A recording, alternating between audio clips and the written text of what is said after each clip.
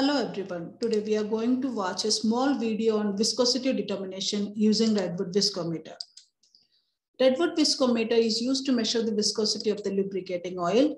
Here we have the Redwood viscometer number which is available in the laboratory. This is the labeled diagram for Redwood viscometer number one. Let us discuss the working. The jet is closed with the help of the valve rod. The oil to be tested is filled in this oil cup up to the pointer level. The water bath is heated. Kohlrausch flask is kept below the jet outlet to collect the oil. The stirring is continued and temperature of the oil is noted with the help of the temperature that is put in this oil cup. At desired temperature, the valve from the jet hole is removed and start the stop stopwatch so as to collect the oil in the flask and note the time when the oil collected is 50 ml. The time taken to collect 50 ml of the oil in the flask is noted and this time is expressed as redwood seconds at that specific temperature. Higher the time taken for the oil to flow, higher will be the viscosity. Let us watch a short video on the process.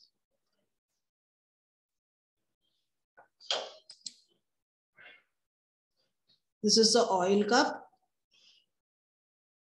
where the oil will be filled.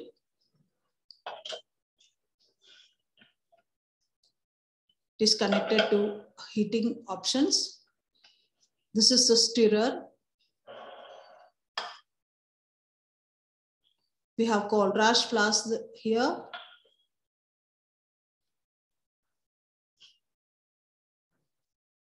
We have oil, water, and CCl4 to clean the Kohlrausch flask.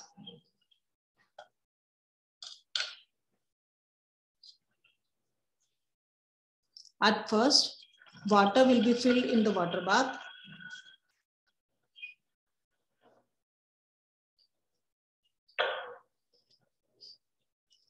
Stirrer will be inserted.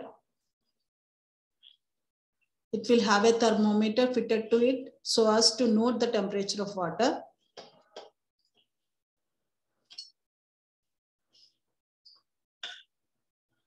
Oil will be filled in the oil cup till the mark which is available in the oil cup. Before filling the oil, the gate jet must be closed.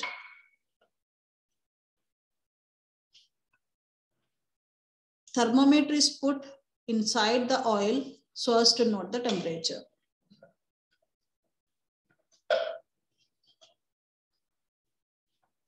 Stirring will be continued.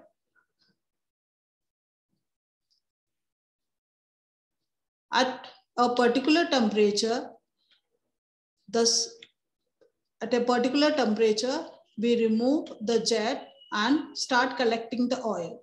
Start the stopwatch and note the time to collect 50 ml of the oil in the Kohlrausch flask. And the time taken to collect 50 ml oil in this Kohlrausch flask is nothing but known as viscosity of the oil and is noted in terms of redwood viscometer number one seconds. That's all for today. Thank you.